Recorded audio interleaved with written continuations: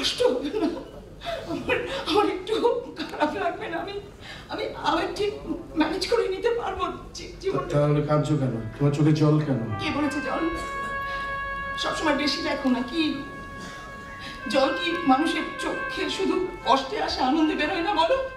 দুপুরে ধরে আনন্দে আনন্দে কাটছি আমি আমি সেই দিনটার কথা ভেবে আনন্দে কাটছি তুমি নতুন করে জীবন শুরু করছ। একটা একটা অন্য কোনো মেয়ের সঙ্গে তোমার বিয়ে হচ্ছে।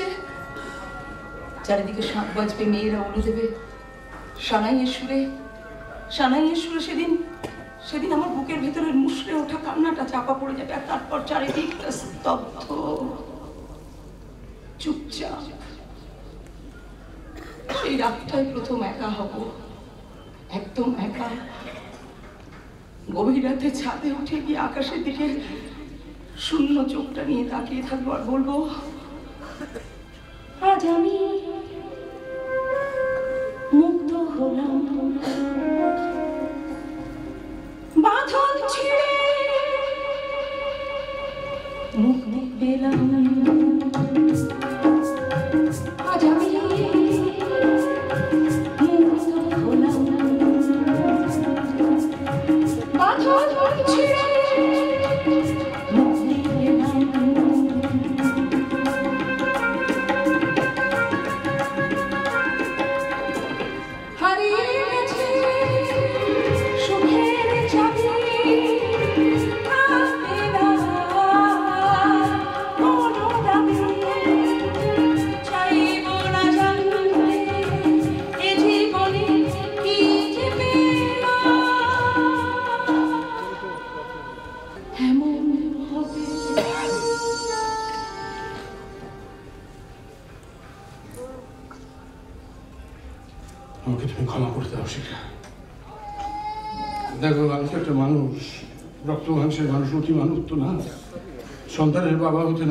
আক্ষেপ থেকে আমি তোমাকে অপমান করে ভীষণ অন্যায় করেছি। চলো চলো না, আমাকে আমার সব অপরাধ ক্ষমা করে দিয়ে চলো না, আমরা আবার নতুন করে আমাদের জীবন শুরু করি।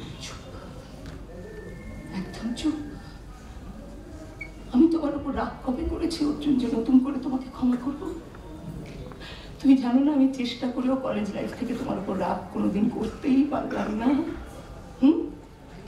তাছাড়া তুমি শিক্ষিত মানুষ হয়ে বোঝো না যে আমার নিজের আত্মসম্মান বলে একটা একটা বস্তু আছে? আমাকে আমার সম্মানটা নিয়ে মাথা উঁচু করে মানুষের মতো বাঁচতে দাও, অর্জুন। আমি তোমার জীবনের বোঝা হয়তো বাঁচতে পারব না। কেন বোঝো না, বলো তো? কেন? কেন বোঝো না যে আফটার আমি তোমাকে ভালোবাসি আর যাকে ভালোবাসা যায় তার দয়া, তার করুণা নিতে যে খুব লজ্জা করে, অপমানিত লাগে। আর তোমার দয়া করুণাটা নিয়ে বাঁচতে পারব না বলেই আমি আমি আমার নিজের হাতে তিল তিল করে সাজানো এই বাসাটা মানে এই ফুলদানিটাকে ভেঙে দিয়ে চলে গেছি। আর হয় না অর্জুন আর হয় না। একটা একটা কথা আজকে বলি মনে রেখে দিও অর্জুন। দেখো কাঁচ ভেঙে গেলে সে কাঁচ যেমন আর কোনোদিনও জোড়া লাগানো যায় না একটা দাগ থেকে যায়। তেমনি সংসার এমন একটা জায়গা একটা ছোট্ট ধাক্কা না সবটা ভেঙে চুলে তছনছ করে দেয়। কিন্তু ভালোবাসার যে মরণ হয় না এটা তো তুমি নিশ্চয়ই মেনে নেবে। তুমি আমার বাসা ভেঙে দিয়ে চলে গেছো। কিন্তু আমার বুকের ভেতর জমানো ভালোবাসা তো তুমি একটু নিয়ে যেতে পারোনি। পারবে তুমি কোনোদিন আমাকে ভুলে যেতে। কোনোদিনের জন্য অর্জুন মুখার্জি নামটা তুমি তোমার জীবন থেকে মুছে দিতে পারবে। অর্জুন প্লিজ অর্জুন বোঝার চেষ্টা করো একটু। ও, তার মানে তুমি তোমার সিদ্ধান্তে এই অনড় রইলে। আমার এত অনুরোধের কোনো মূল্যই তুমি দিলে না। বেশ। বাসা ভালোবাসা। আমি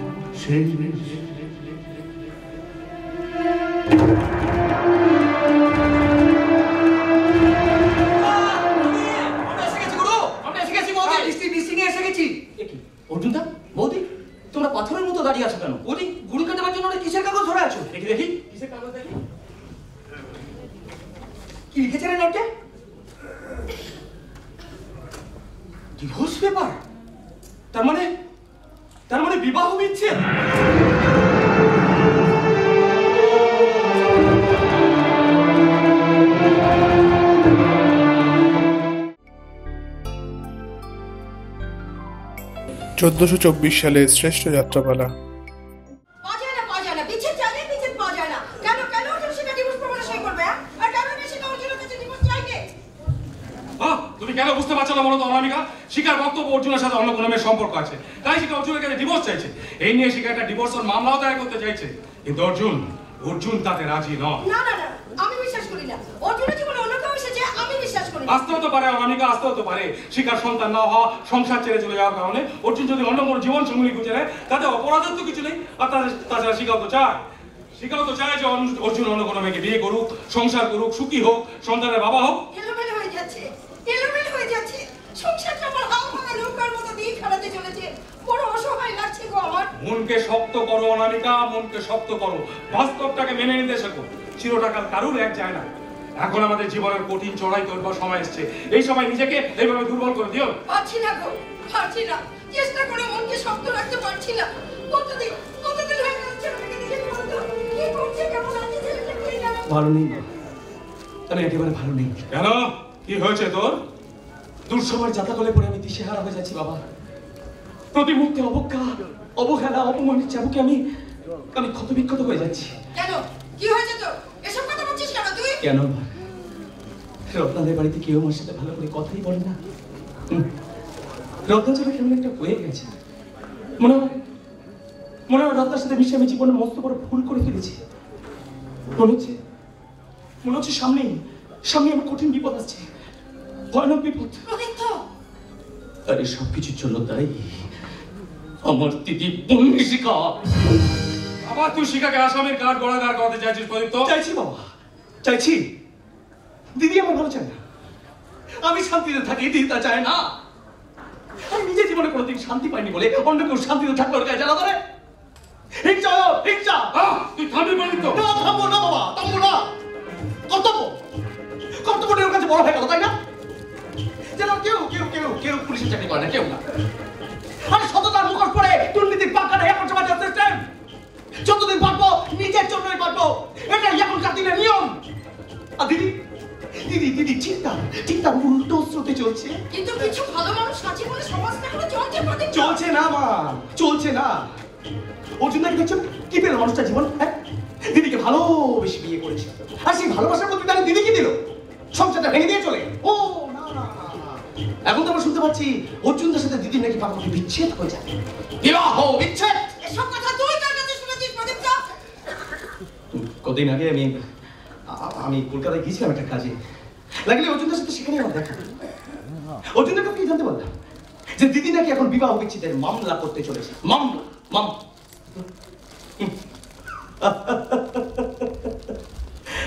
ভালো হবে না, মা। ভালো হবে না, বাবা। দিদির এই স্বেচ্ছাচারিতা এক হয়ে জাতি স্বভাব একদিন দিদি সর্বনাশ কেন সর্বনাশ। না, এমন হতে পারে। এমন হতে পারে যে কোনো একদিন সকালবেলা ঘুম থেকে উঠে তোমরা খবরও পেতে পারো যে তোমাদের মেয়ে বন্যিশিখা মুখার্জি মারা গেছে। প্রদীপ্ত এই অমঙ্গলে বার্তা নিয়ে সাত সকালে তুই এই বাড়িতে এসেছিস বুঝি? সত্যি যদি এমন কোনো ঘটনা ঘটে প্রদীপ্ত সত্যি যদি এমন কোনো ঘটনা ঘটে ইন্সপেক্টর বন্যশিকার জীবনে এমন কোনো কালো দিন নেমে আসে দুর্নীতির বিরুদ্ধে লড়াই করতে গিয়ে নিজের কর্তব্য পালন করতে গিয়ে আমার মেয়ে বন্যশিকাকে মরতে হয় তাহলে বাবা হিসেবে আমি গর্ববোধ করব। আমার এতটুকু দুঃখ হবে না এতটুকু কষ্ট হবে না। আমিও মা হয়ে মেয়ে মৃতদেহ সামনে দাঁড়িয়ে শিকাকে সেলুট জানাব বিদায় জানাব শেষ বিদায় বুঝেছিস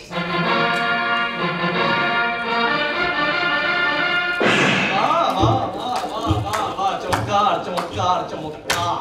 এই না হলে আমার মা এই না হলে আমার বাবা। অপূর্ণত বয়সে ভুল পা ফেলে আমি জীবনটাকে চতুর্গৃহ তৈরি করে ফেলেছি। আর তোমাদের মেয়ে শিখা সেই চতুর্গৃহ আগুন জ্বালিয়ে নিজেও মৃত্যুবরণ করছে। আর আমার জীবনটাকে চালিয়ে পুড়ে কাজ করে দিচ্ছে না না না না না না, তারপর তো তারপর তো দিদির জন্য তোমাদের গর্বই হবে গর্ব গর্ব গর্ব গর্ব! তোমাদের মনে অবশিষ্ট থাকবে শুধু ঘৃণা আর ধিক্কা তাই না?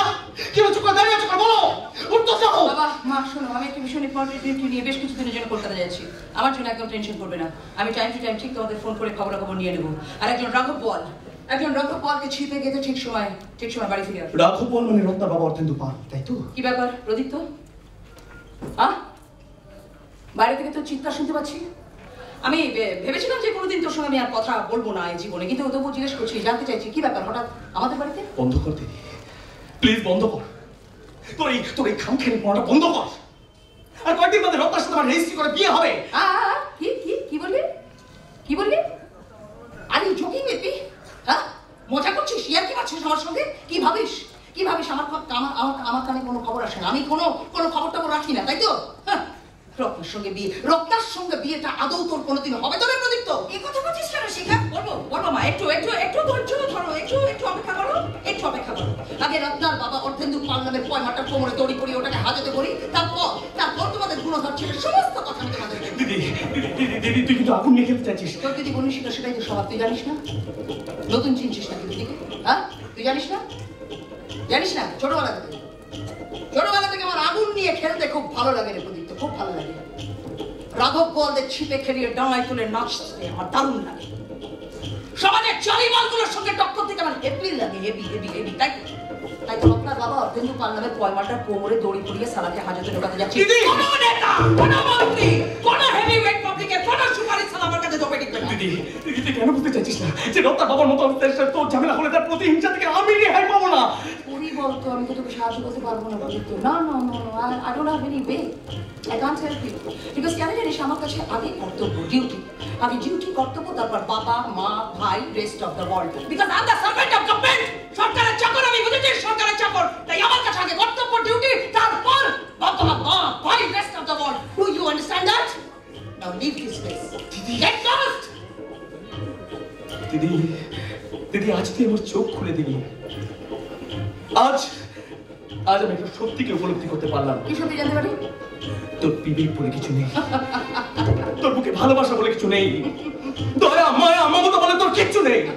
যদি থাকতো যদি থাকতো তাহলে আমার বিপদের সম্ভাবনা জানা সত্ত্বেও তুই রক্তার বাবাকে খোঁজা দিতে পারতিস বলে যা আমার কিন্তু তোকে থামানোর কোনো ইচ্ছে আমার নেই। কারণ তোকে থামিয়ে তো কোনো লাভ হবে না। বিকজ আমি জানি তুই খারাপ হয়ে গেছিস, তুই নষ্ট হয়ে গেছিস, তুই বকে গেছিস। তাই তোকে আমি থামাবো না।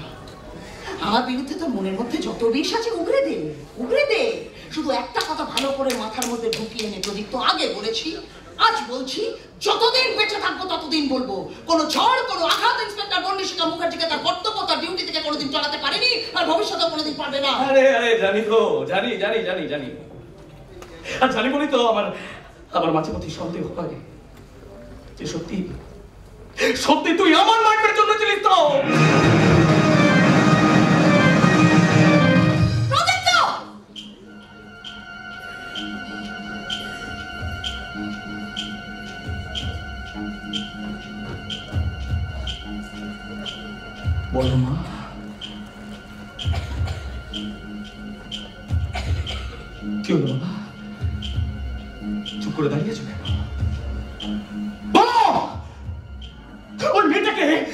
ওই মেয়েটাকে সত্যি তোমরা জন্ম দিয়েছিলে তো হ্যাঁ? হ্যাঁ?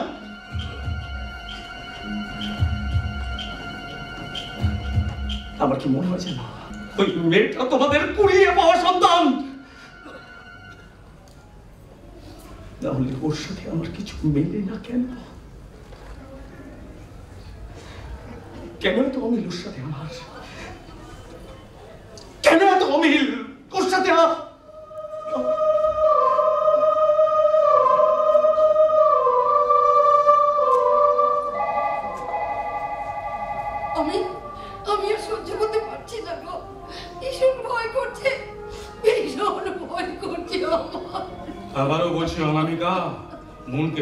করো মনকে শক্ত করো। একটা দুঃসময় এসছে গো একটা দুঃসময়। এই সময় যদি দুর্বল হয়ে পড়ি আমরা? আচ্ছা শিখা। শিখা তোকে একটা প্রশ্ন করতে পারি মা? শেখা। হ্যাঁ কিছু বলবে? বাবা আমি একটু অন্যমনস্ক হয়ে পড়েছিলাম। তুমি এরকম হেজিটেট করছ কেন বাবা? তুমি আমার তুমি আমার জীবনের আদর্শ তোমার সব রকম প্রশ্নের উত্তর দিতে আমি সবসময় প্রস্তুত। বলো বলো কি জানতে চাইছো? আচ্ছা তোর কি মনে হয়? প্রদীপ তো খুব বিপদ তাই না রে মা? বল না বল না মা বল না প্রদীপ তো খুব বিপদ তাই না? প্রদীপ তো সত্যি বড় বিপদ বাবা। কেঁদো না কেঁদো না ফর এভেন থেকে একটু চুপ করো। মাথা ঠান্ডা করে কাজটা করতে দাও। বাবা বাবা প্রদীপ তোর বড্ড বিপদ। রত্নার বাবা অর্ধেক দুবার প্রদীপ তো জীবনটাকে শেষ করে দেবে বলে উঠে পড়ে লেগেছে কিন্তু প্রদীপ তো এত বোকা কিছুতেই কিছু বুঝতে চাইছে না। রত্নার বাবা অর্ধেন্দু পাল প্রদীপ তো জীবনটাকে অক্টোপাসের মতো চারিদিক থেকে আষ্টে পৃষ্ঠে বেঁধে ফেলেছে কিন্তু ও এত বোকা বুঝতে পারছে না। এই পৃথিবীতে প্রদীপ্তর জন্য কি আর কোনো কোনো মেয়ে ছিল না? কিন্তু আমি কি করি বলতো রক্তের সম্পর্কে বড় বোন হয়ে ভাইটার বিপদে তো হাত পা গুটিয়ে বসে থাকতে পারছি আমি জানি আমি জানি, তোমরা তো দেখলে প্রদীপ তো আমাকে একেবারে পছন্দ করে না। উঠতে বসতে শাসন করি, আজকের প্রজন্ম মেনে নিতে পারে না। কিন্তু আমি আমি কি করব? আমি ওর রক্তের সম্পর্কে বড় বোন হয়ে ভাইয়ের বিপদে হাত পা গুটিয়ে বসে থাকতে পারছি না বলেই কিন্তু শুধুমাত্র প্রদীপ তোর জীবনটাকে বাঁচানোর জন্য আমি রত্নার বাবা অর্ধেন্দু পালের সঙ্গে শেষ বোঝাপড়াটা সেরে নিতে যাচ্ছি। আর অর্জুন অর্জুনের সাথে তো সম্পর্কের বোঝাপড়া অত তোকে ডিভোর্স দিল না দেবে মা তুমি তো সেই একই জায়গায় পড়ে রয়েছো এখনও। সেই অর্জুন অর্জুন ডিভোর্স ডিভোর্স হয় না দিল না দেয়নি। অর্জুন দেয়নি এখন আমাকে ডিভোর্স আর অর্জুন যদি একান্ত কোনোদিন আমাকে ডিভোর্স না দেয় তাহলে তাহলে যেমন চলছিল ঠিক তেমনই চলবে। ফিরে যা মা ফিরে যা। মানিয়ে নি অর্জুনের কাছে তুই ফিরে যা। তোর তোর সন্তান হয়নি বলে অত তোকে কখনো অবহেলা করেনি? তুই নিজের ইচ্ছে সংসার ছেড়ে চলে এসেছিস। ওরে মা তুই যে আমাদের অত্যন্ত আদরের মেয়ে তুই যদি সুখী না হোস তাহলে আমরা এই বুড়ো বুড়ি কি করে ভালো থাকি বল দেখি মা হ্যাঁ? অর্জুনের মতো ছেলে হয় না। তুই ছেলেটাকে ছেড়ে চলে এলি সংসার ছেড়ে চলে এসেছিস। কিন্তু অত তোকে কখনো মন থেকে সরিয়ে দেয়নি ঠিক ঠিক কথা বলেছ আমাকে তুই ঠিক বলেছ। অর্জুন যদি তোকে মন থেকে সরিয়ে দিত তাহলে এক কথা ডিভোর্সের কাগজে সই করে দিত। কিন্তু তা তো দেয়নি। আরে বাবা কেন দেবে বলো তো কেন দেবে অনামিকা? আমি জানি আমি জানি শিখা অর্জুনের কাছে ডিভোর্স চাইলেও আজও আজও শিখা অর্জুনকেই ভালোবাসে গো। শুধু ও অর্জুনকে ভালোবাসে না অর্জুন ওকে খুব ভালোবাসে। না মা না। অর্জুন আর আমাকে ভালোবাসে না। কথাটা তো আমি বলতেই চাইছিলাম না। তোমরা টেনশন করো, দুশ্চিন্তা করো, তাই কিন্তু জোর করে বলতে বাধ্য করালে তাই বলছি, অর্জুন মুখার্জি আর আমাকে ভালোবাসে না, মা। অর্জুনের অর্জুনের জীবনে এখন অন্য একজন নারী এসে গেছে। আমি জানি ও অর্জুন মুখে যাই বলুক। মনীষিকা মুখার্জির জন্য অর্জুনের জীবনে আর কোনো জায়গা অবশিষ্ট নেই। আমার আমার তো কোনো অস্তিত্বই অর্জুনের জীবনে আর নেই গো মা। কিন্তু তুই কি করে জানি রে মা যে অর্জুনের জীবনে অন্য কোনো নারী এসছে? অর্জুনের কথাবার্তা শুনে আমার তো সেরকমই মনে হলো। না না না না কে এসেছে অর্জুনের জীবনে? কি নাম তার? ওফ মা বাবা তোমরা দুজনেই মাঝে মাঝে আমার সঙ্গে আমার এমন একটা অ্যাটিটিউডে কথা বলো না। আমার কি মনে হয় বলো তো তোমরা দুজনেই মাঝে মাঝে বোধহয় ভুলে যাও যে আমি একজন পুলিশ ইন্সপেক্টর পুলিশে চাকরি করি। দেখো অর্জুন তো আমাকে পুরোপুরি সবটা বলেনি। তবে ওর মুখ থেকে যতটা শুনেছি তারপর আমার পুলিশের সমস্ত সোর্স লাগিয়ে মোটামুটি মেয়েটি সম্পর্কে সব তথ্যই প্রায় আমি জানতে পেরে কি জানতে পেরেছিস মেয়েটি কে তার বাড়ি কোথায়? সেটাই তো আমার খুব অবাক লাগছে আমি তো কোনো মেলাতে পারছি না। শুনলাম মেয়েটি নাকি একটি মানসিক ভারসাম্যহীন মেয়ে। পাগল। পাগল মেয়ের সঙ্গে অর্জুনের রিলেশন এনিওয়ে মেয়েটির নাম রাধা। কোন রাধা? ওই তো কেয়া কালার কিসাম শান্তিলাল সরকারের মেয়ে রাধা।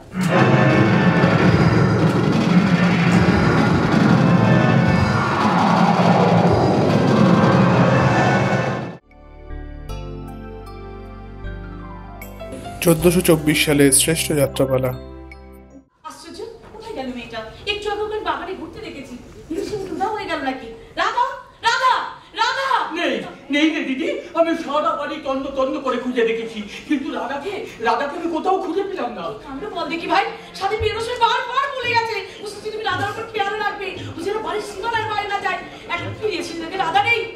হবে কি আবার হবে? কি আবার হবে? জামাই বাবু এসে তোকে তুলো ধুলা করবে আর আমি তখন দাঁত কেলিয়ে হাসবো বৌদি কি শুনছি বৌদি তোমাদের বাড়ির কাজের লোক ঘোরার কথা শুনলাম স্বাধীন তারপর রাধাকাটাকে খুঁজে পাওয়া যাচ্ছে না? কি শুনেছো কি কিন্তু বলতে পারো মেয়েটা কোথায় যেতে পারে? আমিও তো সেই কথাই ভাবছি। মেয়েটা একা বাড়ির বাইরে কোথায় যাবে? আচ্ছা আচ্ছা রাধাকে কেউ বাড়ি থেকে সরিয়ে দেয়নি? কে? কে বাড়ি থেকে সরাবে? কেন? তোমাদের বাড়ির কাজের লোক ভোলা লোকটাকে? লোকটাকে কিন্তু আমার মনের সুবিধা বলে মনে না হয় না না না না ভোলাকে এমন মানুষ নয় তাছাড়া ভোলাকে ওটা করতে যাবে? সব কেন উত্তর হয় না বৌদি। কে কোথায় কখন কোন কারণে কি সব করছে? কেউ কি তোমরা বলতে পারি? যেমন তুমি স্বাধীন দা আমার এই দিদি তোমরা সবাই মিলে রাধার ছক করছ তাই না? বাপ্পা! শুধু কি তাই?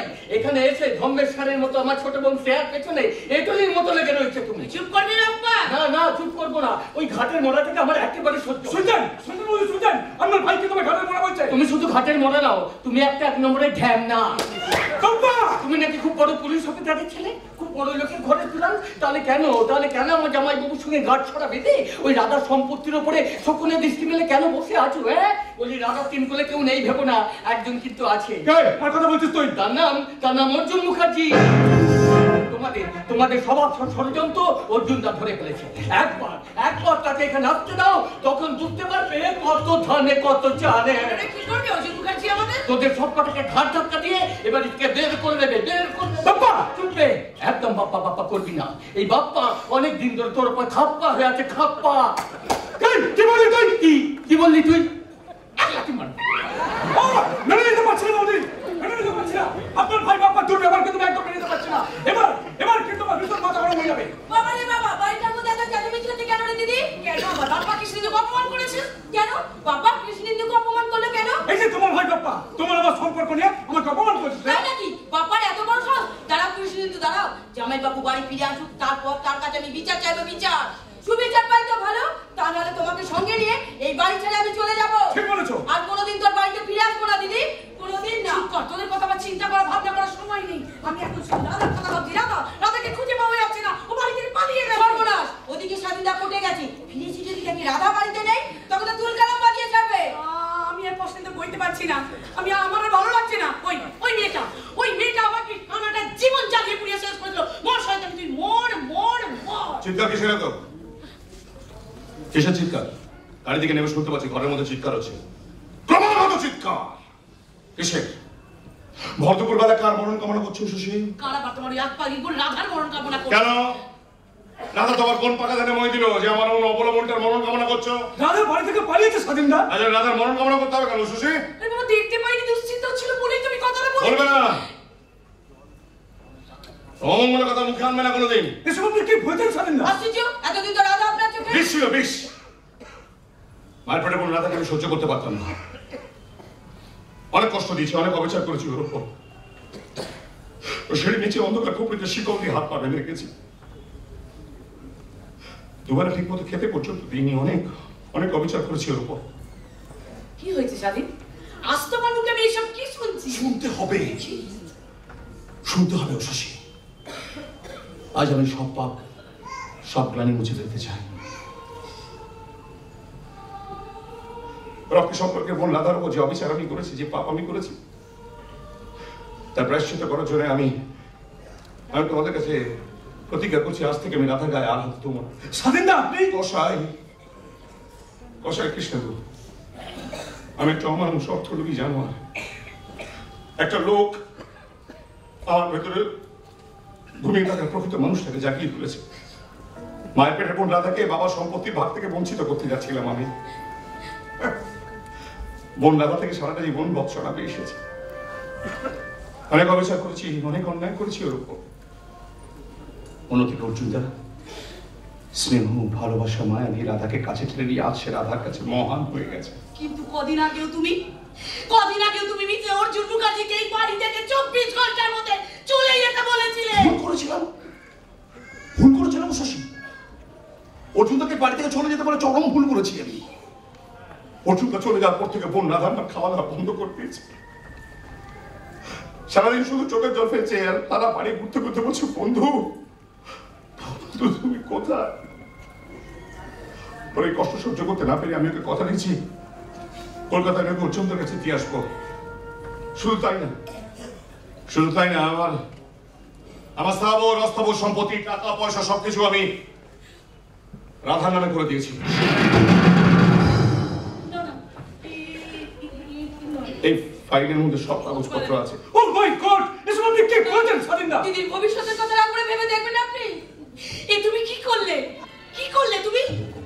আমাকে আমাকে তুমি পদের ভিখারি করে দিলে। আমাকে তুমি পদের ভিখারি করে দিলে। না, না, না, শশী শোনো। ভালো তুমি করলে না। আমার প্রতি কোনো সুবিচার তুমি করলে না। এর পরিণাম না কথাটা তুমি মনে রেখো। হ্যাঁ মনে শশী শুনে যাও। ও শশী ধন দৌলত সহ্যের কোনো মূল্য নেই। সব অসার মায়া ছলনা ছাড়া কিচ্ছু না। এসব কি তোমার সঙ্গে যাবে? যাবে সঙ্গে? যাবে না? কিচ্ছু যাবে না। কোনো কিচ্ছু সঙ্গে যাবে না। সব এখানে থেকে যাবে। এই কেন? এ কি রে? এ কি স্বাধীনদার মাথা খারাপ হয়ে গেছে? ঠিক বলেছ তুমি ঠিক বলেছ। স্বাধীনদার এই অবস্থা থেকে দিদিও পাগল হয়ে যাবে। তুই না এটা দুজনের চিকিৎসা কথা বুঝেছ চলো আমরা ডাক্তারের কাছে যাব ডাক্তার। চলো ডাক্তার চলো, চলো, চলো। চলো ডাক্তার চলো যাও ডাক্তারের কাছে তোমরা। যাও ডাক্তারের কাছে চিকিৎসা দরকার আমার। তাহলে আমি পাগল হয়ে যাব। আমি পাগল হয়ে যাব পাগল হয়ে যাব। ব- বন্ধু। বন- বন্ধু। ও কোথায় বন- বন্ধু কোথায়? এই তো। এই তো রাধার বোন আমার কোথায় ছিল? সারা বাড়ির লোক তোকে খুঁজে বেড়াচ্ছিল, বল কোথায় ছিল? তোর কি হবে? তুই সঙ্গে কথা বলবি না, বাবু। বন্ধু! বন্ধু! বন্ধু! বন্ধু তুমি কোথায়, বন্ধু? কোথায় লুকিয়ে বলছো এবার আমাকে না তোর বন্ধু চলে গেছে কথা কথা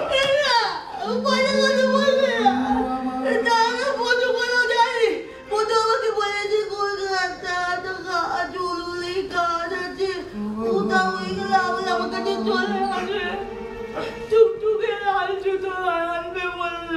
কিন্তু এতদিন হয়ে গেল বন্ধু আর আসছে না। কোথায় হারিয়ে গেল বন্ধু এনে দে দাদা। কাঁদিস না। না বোন আমার না আমি তোকে কথা দিয়েছি বল তোর কথা রেখে কলকাতায় আমি অর্জুনের কাছে তোকে দিয়ে আসব তোর বন্ধুর কাছে।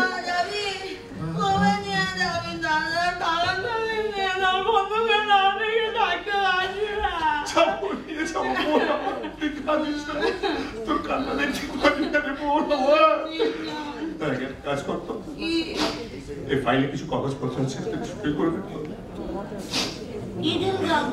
সই করতে পারিস। কাগজটা কিসের কিসে সই করার কথা বলছিস কেন? চলে যাব। চলে যাব রে দাদা এই বাড়ি বাবার জমানো ব্যাংকে টাকা আমার জমানো টাকা সব আমি তোর নামে করে দিয়েছি। নে সই কর। এখন থেকে বাড়ি গাড়ি টাকা পয়সা সব আমার হয়ে যাবে? সব তোর হয়ে যাবে। সবকিছু নিয়ে আমাকে তুই আমাকে তুই মুক্তি দে না। মুক্তি? মুক্তি হ্যাঁ। মুক্তি বল হ্যাঁ মুক্তি? মুক্তি মানে মুক্তি? মানে সব মায়া বন্ধন ছেড়ে চলে যাওয়া চলে যাবি। আমাকে ফেলে চলে যাবি দাদা। যাবি না যাস তোর না বৌদিকে নিয়ে যাস না বাবু যাস না। আমাকে তোরা ঘরে হাত পা বন্ধ করে শিকুল বেঁধে তালা বন্ধ করে রাখতে চাস তাই রাখ কিছু বলব না। খেতে দিতে না চাচ্ছিস না খেতেও চাইব না। চাবুক দেবো মারবি? যত জোরে মারিস মা লাগলেও কাটবো না কিন্তু আমাকে একা করে দিয়ে যাস না। আমি না তো ছোট বোন আমার না মাথার অসুখ পাগল তাহলে আমাকে একা করে দিয়ে চলে যাবে কেন? একা কেন বলছিস? ওরে বোন আমার একা কেন বলছিস? ওই তো অর্জুন থাকবে। ভোলা কাকা থাকবে থাকবে তো বধু থাকবে কাকা থাকবে তুই বউদেও থাকবি আমরা সবাই মিলে আচ্ছা আচ্ছা আচ্ছা থাকব থাক। ঠিক আছে থাক তুই যখন বলছিস তখন থাক। নে সই করে দে। না না এই কাগজে আমি সই করব না। ওখানে সই করলে তো বলছিস বাড়ি গাড়ি টাকা পয়সা সব আমার হয়ে যাবে। তাহলে কেন সই করব ওখানে ওখানে সই দাদা, বাড়ি গাড়ি টাকা পয়সা তুই নে তুই নে ওতে আমার কি হবে আমার তো মাথার অসুখ পাগল আমাকে তুই দুবেলা দুবেলা খেতে দে। আগে খেতে দিস না কেন তোর কষ্ট লাগে না আমার জন্য। খেতে দে, খিদে পায় খিদে পায় বন্ধু এলে বন্ধুর সঙ্গে ঝগড়া করবি না এখানে থাকতে দেবি বন্ধু। করব না, করব মোলা কাকাকে বকিস না বুড়ো মানুষ। আমাকে কত ভালোবাসে চুল বেঁধে যায় ঘুম পাড়ায় গান শোনায়। মোলা কাকাকে ভালোবাসবি? তাহলে আমার কিছু লাগবে না। তুই আমার ভালো দাদা না। ভালো। ভালো চল তো বন্ধু বলে নিয়ে চল তো কতদিন বন্ধুকে দেখি না মন খারাপ লাগছে। ওরে সোনা আমার বোন ওই সোনা রে তাড়াতাড়ি যা বন্ধু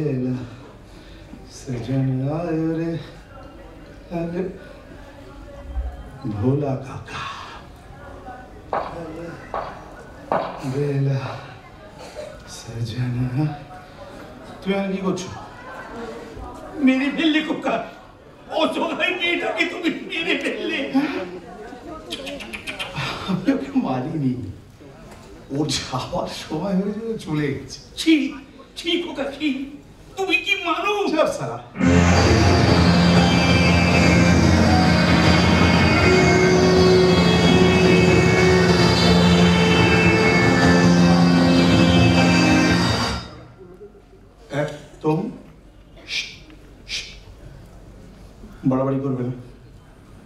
রাধার মতো তোমাকে টপকে দেবো। করে আরেকটা কথা। একটু আগে এখানে যা ঘটেছে, তুমি কিন্তু কিছু দেখোনি, কিছু শোনোনি, কিছু জানো না। মনে রেখো। আমার নাম স্বাধীন সরকার। টাকার আমার খুব দরকার।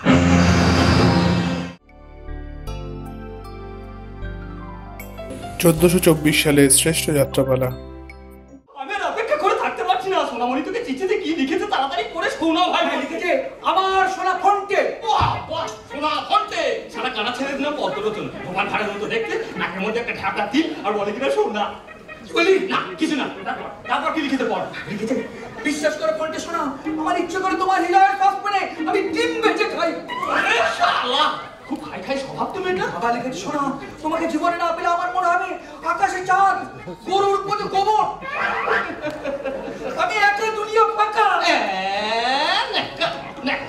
আমি একা দুনিয়া ফাঁকা আমি একা দুনিয়া ফাঁকা নেকা নেকা।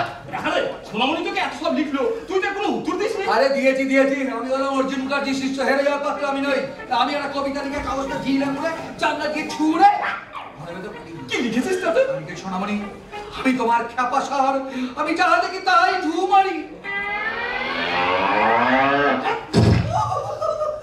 তবু আমি তোমারই কণ্ঠে তোরা সোনামণির ভালোবাসাবাসি কবিতা শুনে আমারও ভীষণ প্রেম প্রেম পাচ্ছে।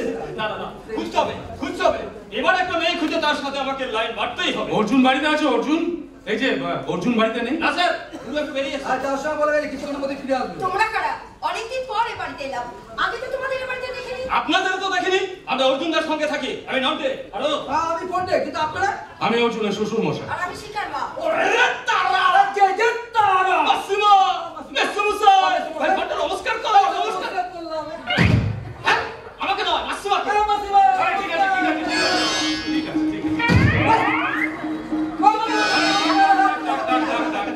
তাই বলে চলে মাসিমা তাই বলে চলে। আপনি আপনি আমাদের গুরু অর্জুনদার শাশুড়ি। আর অর্জুনদার শাশুড়ি মানে তো আমাদেরও শাশুড়ি। কি জানো কিছু মনে করবে না। নোটটা ভুল করে বলে বলেছে শাশুড়ি মা। শাশুড়ি না মাসুমা আমরা পাশের দরকার ডেকে নেবেন। এই চলো না চলো।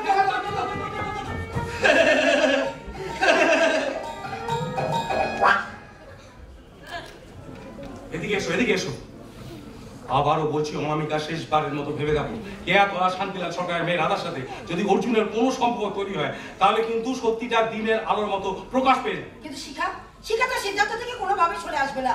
অর্জুনের সঙ্গে সম্পর্কে ইতি টেনে দিতে মানসিকভাবে প্রস্তুতি নিয়ে ফেলেছে। এমন পরিস্থিতির পরে অর্জুনকে কেমন করে বলব? অর্জুন রাধার সঙ্গে কোনো সম্পর্কে তুমি নিজেকে জড়িও না? আমার দাদা আমার দুঃসম্পর্কের দাদা ভোলানাথ মিত্র মানে ভোলাদা তার দিকটাও তো আমাদের একবার ভেবে দেখতে হবে। অনামিকা বিয়ের দশ দশটা বছর আমাদের কোনো সন্তান হয়নি। আর সেই নিঃসন্তান বাড়ি থেকে মুক্তি দিতে ওই ভোলাদাই তো আমাদের পাশে এসে দাঁড়িয়েছিল শান্তিলাল বাবু আর তার স্ত্রী অ্যাক্সিডেন্টে মারা যাওয়ার পর শান্তিলাল বাবু দুই জমর সন্তানকে নিয়ে ভোলানা তখন দিশে শুধু ম্যানেজার না, সে যেমন পালনের কথা রানীকে আমাদের কাছে আমরাও রানীকে পেয়ে এখন যদি সত্যিটা জানাজানি হয়ে যায় তাহলে ভোলাদা শান্তিলাল বাবুর ছেলে স্বাধীন সরকারকে কি করে ফেলতে এই পৃথিবীর তুমি আমি আর ভোলাদা ছাড়া সবাই জানে? শান্তিলাল বাবু দুই মেয়ে রাধা রানীকে নিয়ে ভোলাদা রথের মেলা বেড়াতে গিয়েছিল। আজ থেকে পঁচিশ বছর আগে সেই রথের মেলায় রানী হারিয়ে যায়। হারিয়ে যাও রানী হচ্ছে আপনাদের পালিতা কন্যা ভন্ডুশিকা তাই না? মিস্টার সেন অর্জুন বাবা তুমি এসেছ বাবা? ছিলাম আমাদের তুমি ভুল বুঝে না বাবা অর্জুন নিঃসন্তান জীবনে মানসিক অবসাদ থেকে মুক্তি পাওয়ার আশায় আমরা সেদিন মিথ্যাচার করেছিলেন আপনাদের সন্তান প্রদীপ্ত পৃথিবীতে আসা পর্যন্ত আপনারা ধৈর্য ধরতে পারেননি। তাই মিথ্যের আশ্রয় নিয়েছিলেন। অর্জুন। যদি বলি রাধার মানসিক অস্থিরতার জন্য আপনারা দায়ী সেটাকে আমার খুব অন্যায় হবে? কেন বাবা অর্জুন? কেন বলব না? রাধা রানী দুজনেরই তখন জ্ঞান হয়নি। দুটো অবধ শিশু অনাবিল আনন্দ নিয়ে ছোট থেকে বড় হচ্ছিল। একসঙ্গে খাওয়া একসঙ্গে ঘুমোতে যাওয়া একসঙ্গে চান করা। দুটো বাচ্চা ছেলে মেয়ে দুটো। হ্যাঁ। ছেলে মেয়ের মতো ছোট্ট ছি- দুটো শিশু? হ্যাঁ বাবা হ্যাঁ। একই বৃত্তে যেন দুটো ফুল? একে অপরকে না দেখে থাকতে পারতো না? আপনারা সেটা বিবেচনা না করে সমস্ত ছন্দ সমস্ত লয় ভেঙে দিয়ে কেটে দিয়ে দুটো বাচ্চাকে আলাদা করে দিলেন যার ফলশ্রুতি রাধা ছোটবেলা থেকে মানসিকভাবে প্রতিবন্ধী। আর আপনাদের মেয়ে? আপনাদের মেয়ে শিখা যেদি একগুয়ে। হ্যাঁ, যার জন্য আমার জীবনটা পর্যন্ত তছনছ হয়ে গেল। ঠিক বলেছ বাবা তুমি, ঠিক বলেছ। আজ তোমার সামনে দাঁড়িয়ে মাথা উঁচু করে কোনো কথা বলবার মতো ভাষা আমাদের জানা নেই। মিস্টার সেন, শুধু সততার আদর্শের কথা বললে সব দায়িত্ব, কর্তব্য শেষ হয়ে যায় না। মানুষ হিসেবে সামাজিকতা পালন করাটাও কিন্তু একটা কর্তব্যের মধ্যে পড়ে। স্বামী স্ত্রীর মধ্যে সুস্থ, সুন্দর একটা শীতল বোঝাপড়া থাকা উচিত, যেটা আপনাদের মেয়ে শিখার নেই। কেমন বলেছিলাম? কি এমন বলেছিলাম? আপনাদের মেয়ের কোনোদিনও সন্তান হবে না জানার পর আমি কি তাকে কোনোদিনও অবহেলা করেছি? কোনোদিন তাকে বাড়ি থেকে বেরিয়ে যেতে বলেছি? কোন একদিন একটা অসতর্কতাবশত আমার মুখ থেকে বেরিয়ে যায়। হ্যাঁ রে এই জীবনে কেউ বোধ আর আমাকে বাবা বলে ডাকবে না। বাস তাতেই সব শেষ হয়ে গেল। সব! এটাও একটা রোগ।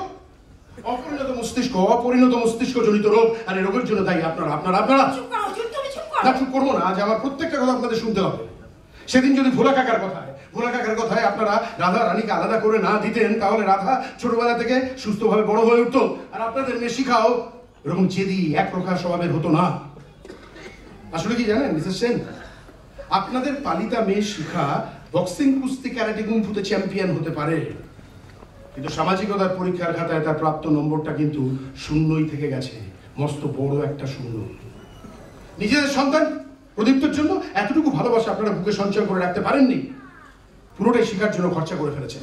আজ তোমার সব যুক্তি সব বক্তব্য শিরোধার্য করে নিয়ে একটা একটা ছোট্ট প্রশ্ন করতে পারি তুমি অর্জুন আজ আমাকে যে কোনো প্রশ্নই আপনারা করতে পারেন কারণ আজ আমি আপনাদের সব কথার উত্তর দিতে প্রস্তুত কারণ আজ আমি একেবারে মুক্ত। এই কথা বলছি কেন বাবা সেখানে ডিভোর্স পেপারে তুমি তো সই করনি মানে রানীকে তো তুমি মিস্টার সেন আজকে একটা পরিষ্কার কথা আপনাকে জানিয়ে দিতে চাই।